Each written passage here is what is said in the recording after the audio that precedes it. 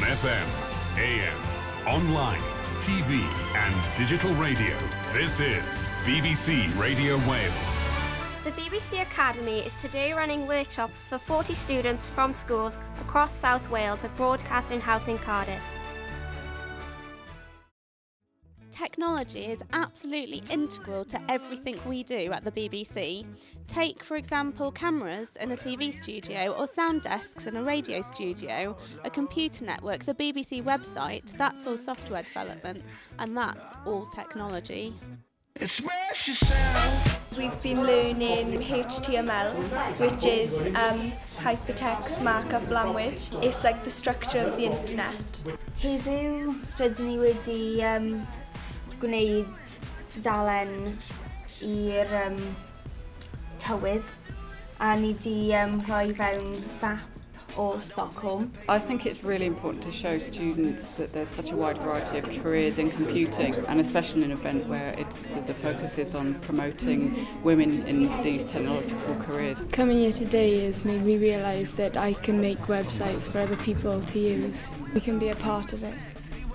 It's like looks complicated, but it's quite fun. So fantastic. It takes them out of the school environment and puts them into a learning environment.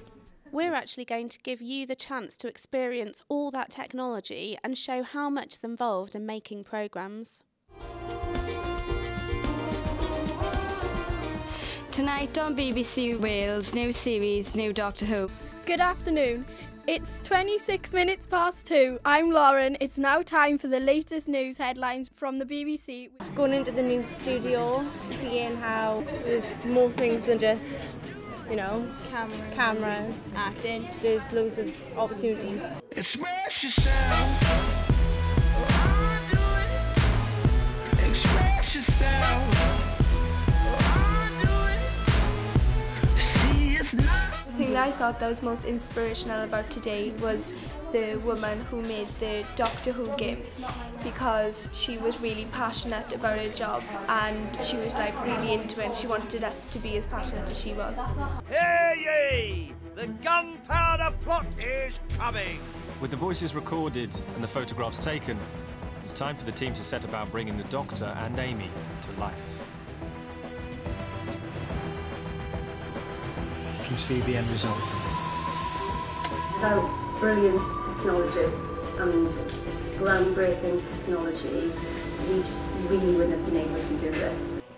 They're going to be inspired by seeing how uh, women can have really strong leadership roles in the tech industry.